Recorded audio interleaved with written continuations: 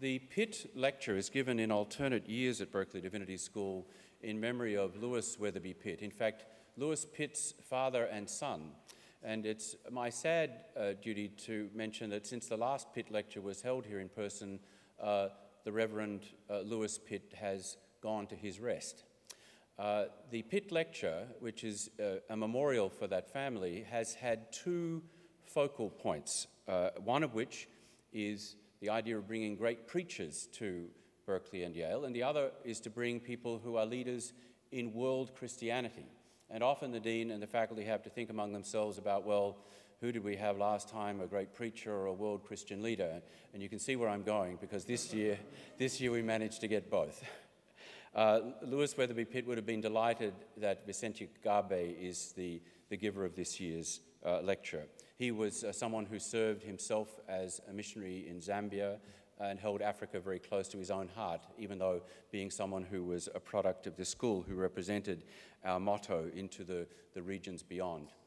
We conceptualize the reality of mission somewhat differently on a global basis now. We understand that our mutuality and interdependence are not simply that of one wealthy and privileged entity giving things to another place in need Rather, we've often become conscious in recent years that churches in many parts of Africa are the givers of gifts to us of a lively faith, of enthusiasm, of deep insight. And so it is our great pleasure to welcome Dr. Kgabe here. And uh, as we met for the first time last night, we both instantly smiled and mentioned how long it had taken this meeting to come about because even before she was elected Bishop of Lesotho and she was principal of the College of the Transfiguration, we had been uh, not only scheming to get her to come uh, physically before, but had also sent students before who had gone and undertaken short uh, learning experiences with their colleagues at the College of the Transfiguration. And our, our hope is that we will actually continue to, to build on her visit, not only perhaps by building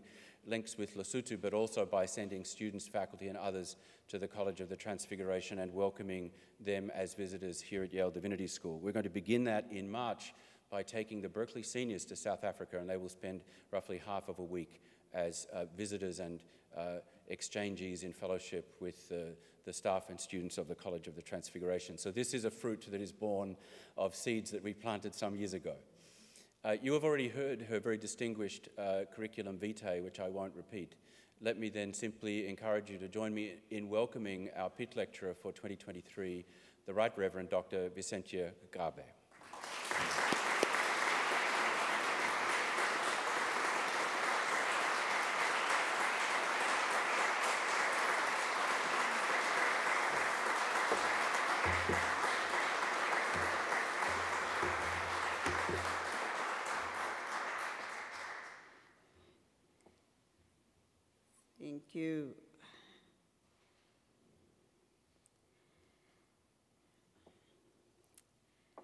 COVID-19 pandemic has caused many of us to reflect on the leadership within the church.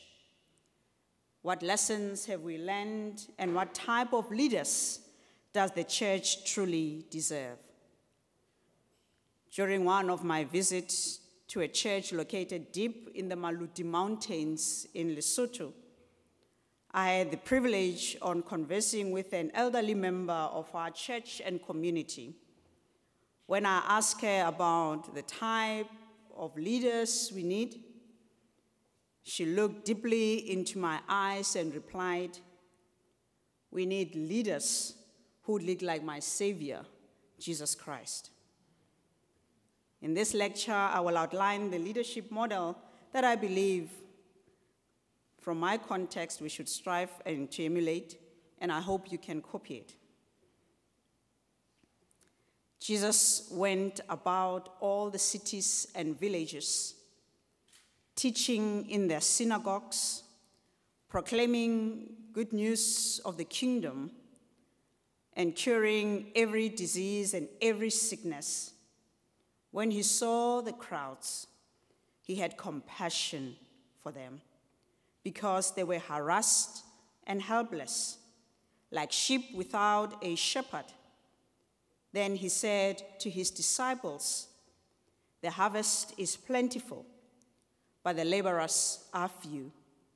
Therefore, ask the Lord of the harvest to send out laborers into his harvest. This is Matthew chapter 9, verse 35 to 38. As Jesus gazed out at the people gathered about him, Matthew says he was filled with compassion. Their pain, their loneliness, their grief, it all became his. He saw just how harassed and helpless they were. His response to their plight was a divine, loving compassion. Matthew chapter 9, 35 to 38 is structured around three themes. The first one is inclusion. The second one is divine compassion and messianic hope. And the third part is harvest celebration and eschatological fulfillment. Matthew builds on the reader's escalated sense of comparing the crowds to sheep without a shepherd. He's drawing from important Old Testament imagery which describes Israel as God's sheep.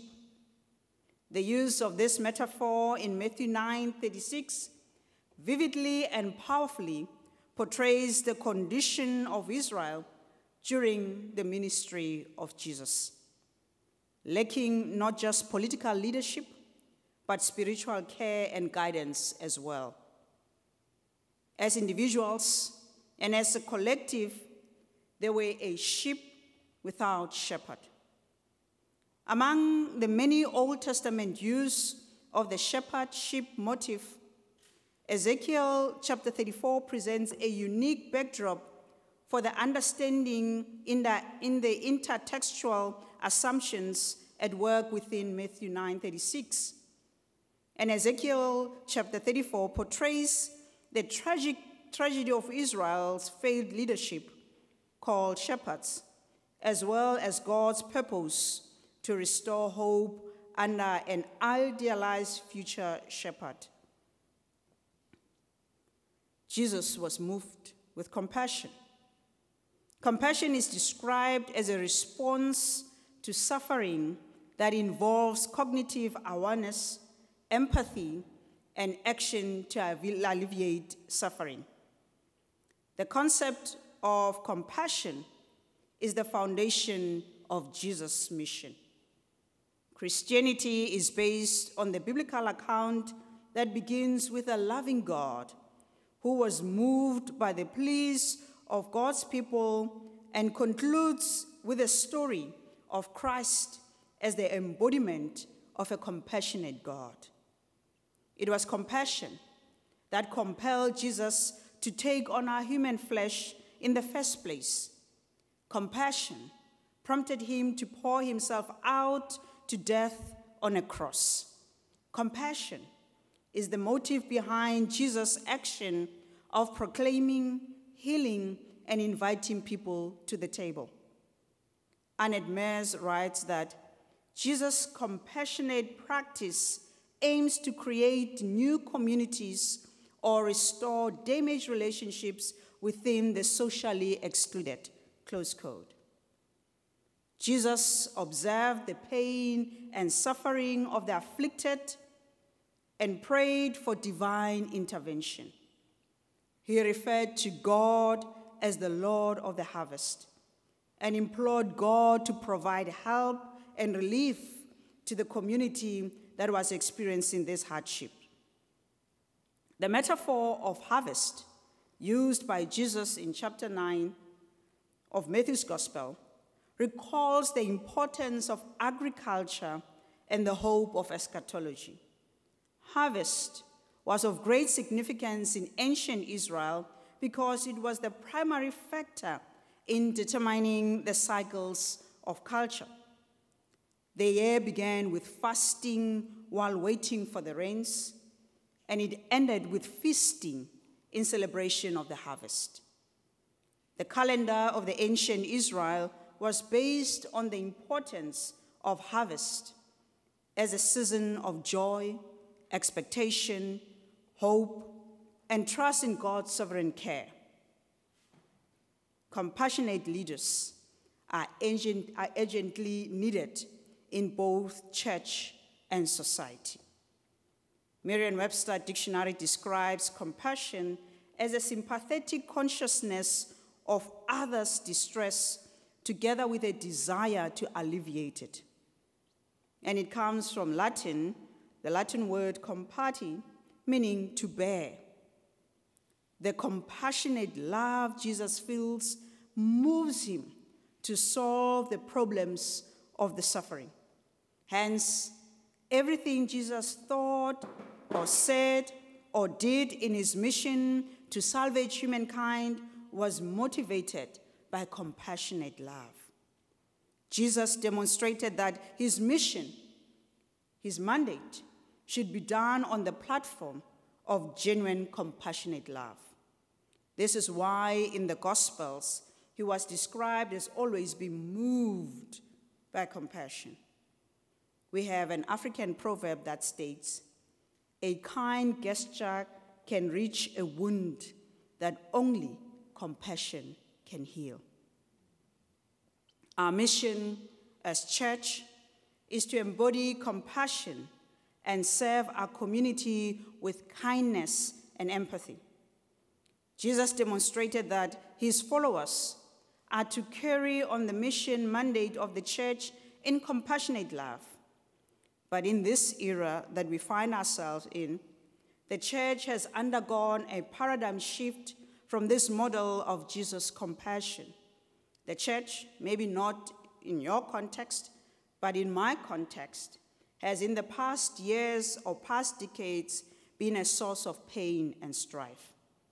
This has contributed to many losing faith or having trouble relating to God. The synoptic gospels, the Gospel of John, and the book of Acts all convey a message that was given to the church. As the church, our purpose is to bring the life changing power of Jesus Christ to our communities, to our region, and this world. This mission is not just about spreading the gospel to as many people as possible, but it's about creating disciples who can in turn make more disciples. It is about being so deeply impacted by the gospel that it transforms us and allows us to impact others. C.S. Lewis wrote The church exists for no other purpose but to draw people into Christ. If it fails to do that, then everything else, including cathedrals, clergy, missions, sermons, even the Bible itself, is simply a waste of time. The sole reason for God's becoming human was to achieve this purpose. Close quote. The church is in dire need of compassionate leadership that places great emphasis on understanding and relating to the struggles of her members. Compassionate leaders prioritize empathy, kindness, and support, which are essential to building a strong and vibrant community. They understand that fear based leadership can be damaging, and instead, they inspire and motivate through positive reinforcement and encouragement. Furthermore, compassionate leaders practice self compassion, recognizing the importance of caring for themselves to better care for those they lead. Leadership that values compassion and empathy is crucial to the success and growth of any church community. It is crucial to identify and support those who are experiencing harassment and helplessness in God's vineyard, in the church. The church and its leaders play a significant role in responding to such situations. While I can stand here and compile a list of those who have been harassed and excluded based on their own experience or context, it would be unfair because I will leave others out. We need to be attentive to all forms of harassment, abuse, neglect, exclusion, isolation, and profiling that have long lasting negative effects on individuals and families.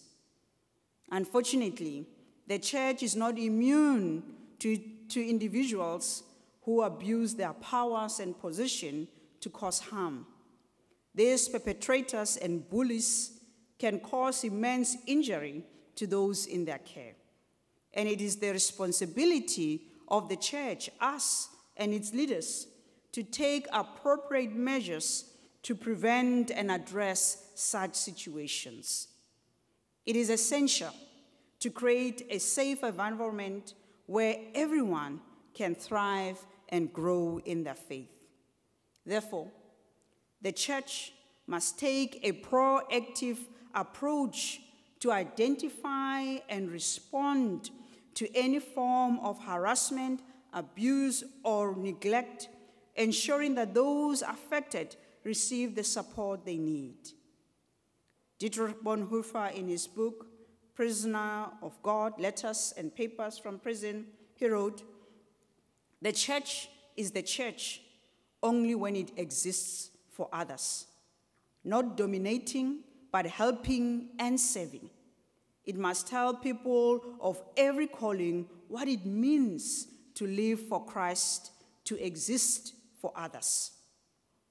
The purpose of the church is not merely to maintain or expand its membership, but to serve humanity and the world by fulfilling its entrusted mission. As previously, previously stated by the second bishop of the Diocese of Lesotho, Archbishop Desmond Tutu, when he said, Evil, injustice, oppression, all of those awful things, they are not going to have the last word.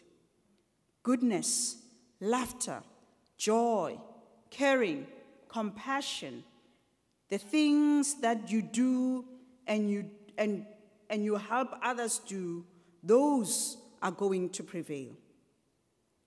The earliest communities that followed Christ did not have to be told to be compassionate to the poor and the marginalized. They merely did what they had seen Christ do and taught. They healed the sick and the physically challenged. They made sure that no one among them was in need. They ensured that the most vulnerable in their communities were properly taken care of. They taught that the only sure sign of Christ was if the widow and the orphans were cared for. One of the fundamental principles of Christian ministry is to minister to the poor, excluded, and marginalized. This involves providing them with the necessary support and resources to uplift their lives and help them achieve a better future. It is not enough to have proper theology. One must also demonstrate the reality of the kingdom of God through their action. This is where preaching the message of justification by faith is complemented by practical demonstration of love, compassion, and generosity towards those in need.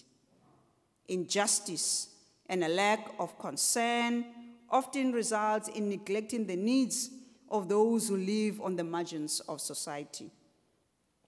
Gregory Nazianzus and Gregory of Nyssa not only preach about compassion for lepers, the poor, and the homeless, but they also provided relief and set up homes for those in need. All the teachings emphasize that the only way one could demonstrate that they were true followers of Christ was if they showed mercy and compassion towards others. As Polycarp wrote, this act of compassion will ensure that God's name will not be blasphemed and thus be a witness to the others about the nature and character of God. As I conclude, Jesus Christ prayed to God of the harvest to send laborers to the vineyard. We must also pray for theological institutions, church organizations, and all our dioceses, and those who provide education, formation, and training of faith leaders. We pray that these faith leaders that will be formed and educated may not only be theologically sound, but also compassionate and empathetic. As Eleanor Roosevelt once said, to handle yourself, use your head. To handle others, use your heart. Compassionate leaders lead and manage with both their head and their hearts. I end.